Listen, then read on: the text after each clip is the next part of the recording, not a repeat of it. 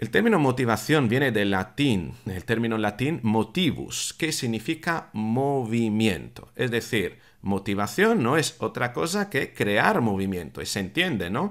¿Para qué sirve la motivación? Para poner en acción, activar a las personas a hacer algo, ¿verdad? Bien, pero también hay otro significado eh, que, que tiene que ver con motivus, que es tener un motivo, es decir, tener un motivo para hacer algo. Y fíjate que si unimos estos dos conceptos, podemos concluir que la motivación es la capacidad de poner en movimiento nuestro cuerpo con el fin de conseguir algo, conseguir un propósito concreto. Pero también es la capacidad de tener un motivo, encontrar una razón por el cual, por la cual, mejor dicho, poner en movimiento nuestro cuerpo. Al fin y al cabo, la motivación es lo que nos permite hacer que nuestra conducta tenga un sentido.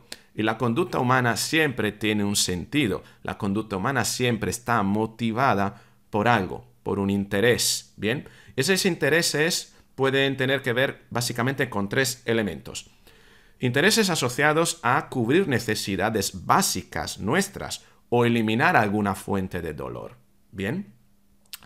Otros intereses asociados al placer sensorial, es decir, la búsqueda de placer, lo que Aristóteles llamaba la eh, felicidad o la motivación hedonística, ¿vale? O hedonista, mejor dicho. Y hay un tercer elemento, un tercer motivo de la conducta humana que es el tener un sentido existencial, cumplir con un propósito vital. Es lo que Aristóteles llamaba la motivación eudamónica, es decir, todas, tiene que ver con todas aquellas conductas que permiten a nosotros dar sentido a nuestra existencia.